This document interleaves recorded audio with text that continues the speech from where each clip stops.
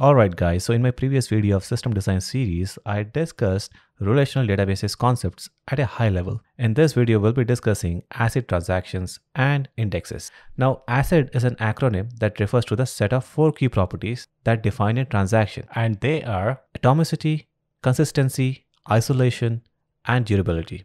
Now, if a database operation has all these ACID properties, it can be called an ACID transaction. Now, what exactly is a transaction?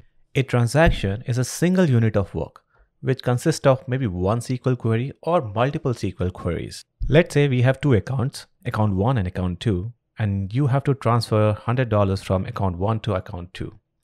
So typically a transaction will consist of various steps here. Check if the account 1 has the amount available. Second step would be to deduct the $100 from the account 1 and then you basically add that $100 to account 2. All these three steps constitute one single transaction. Now, if any one of the steps fail here, the entire transaction will fail. So for example, if adding $100 to account 2 fails, the entire transaction will fail. And that is what basically the meaning of the first property of ACID, atomicity, which says entire transaction must finished or you revert the database to an old state. Consistency ensures that transactions only make changes to tables in a predefined way. By predefined ways, I mean data integrity constraints must be followed. So for example, in this payments table, I have this column amount. So one of the constraints could be the amount should always be positive. It cannot become negative. And that is what consistency ensures. Let's talk about isolation. Isolation basically applies when multiple users are reading and writing from the same table all at once.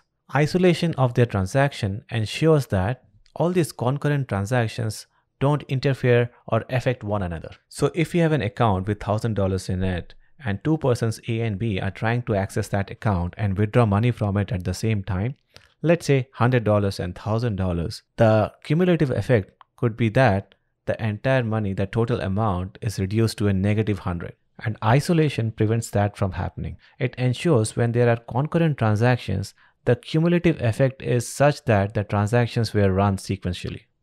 So here in our example, only one person would be able to withdraw at one time. So let's say person B withdraws $1000 from the account. Now that the account is zero, person A won't be allowed to withdraw $100. And finally, the fourth property durability ensures that once the transaction are committed, they are persisted in a non-volatile memory. It ensures that the changes to your data made by successfully executed transactions will be saved even in the event of a system failure. All the major databases are ACID compliant and that's all you need to know about ACID when it comes to system design interviews. Let's talk about the second most important property of relational databases when it comes to system design, indexes.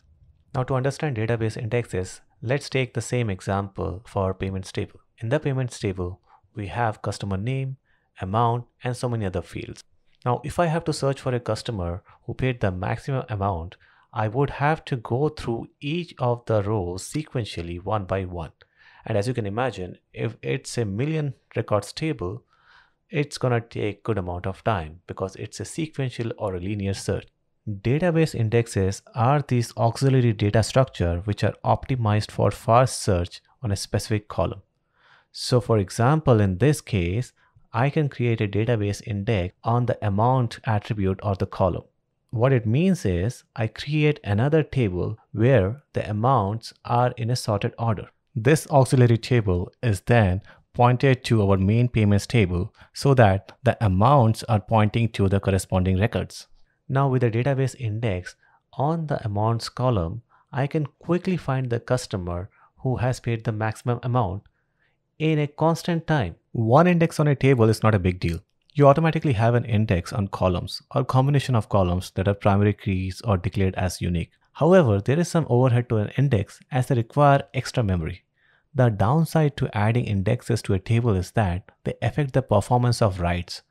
Moreover, improperly created indexes can even adversely affect select queries. Any table configuration where performance suffers due to excessive or missing indexes is considered to be poor indexing. Now, a small number of indexes on each table is reasonable. These, however, should be designed with a typical query load in mind.